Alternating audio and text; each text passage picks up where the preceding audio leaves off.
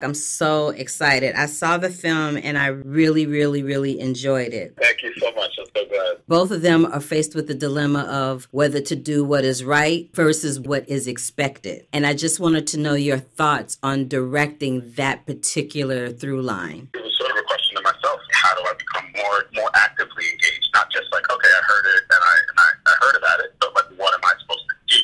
And I think a lot of people don't really know what to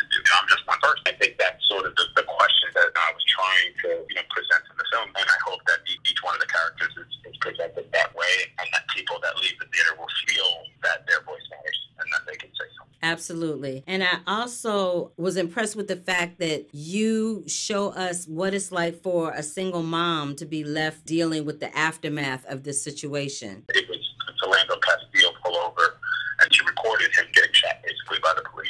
And young girl screamed in the back asking, why did you just shoot him? Why did you just shoot him? Thinking about like, where's that mom and that daughter right now? I found that very interesting because oftentimes we hear about the crime happening, we hear about nobody getting charged for it or, or getting off for it. And then people forget that there are families attached to these young men. They have a mother or a sister or a daughter or a wife. They have children that have been left behind that now have to deal with this person's absence in their life. I appreciated you doing that because there's been a lot of these films that have come out along this same lane this year. I think that's why you know, we leave Manny's character and we don't come back to him because nobody remembers. In real life, people forget. The people that put these videotapes out there, they forget the, the lives and the impact. You know, again, the mothers and the daughters that are left behind. I peeped that too because there's a young man that he got arrested just because he taped what happened to Freddie Gray, and they just pulled up some trumped up charges on him. And I was like, wow, really? He's just trying to do the right thing and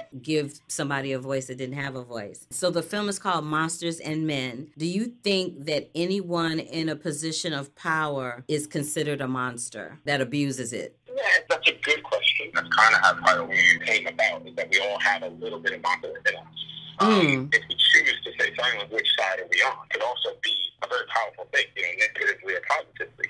And which side is that? And I think that's sort of the, that duality is kind of how the title really presented itself. But yes, I think we all have the ability to be monsters, and we have to choose to not be. To kind of choose which individual we want to be. I'd like to thank Reinaldo Marcus Green for taking time out of his busy schedule to talk to me about Monsters and Men. It opens in theaters today, September 28th. This is your girl, Carla Renata, aka the Curvy Film Critic. Until the next time, love, peace, and hair grease.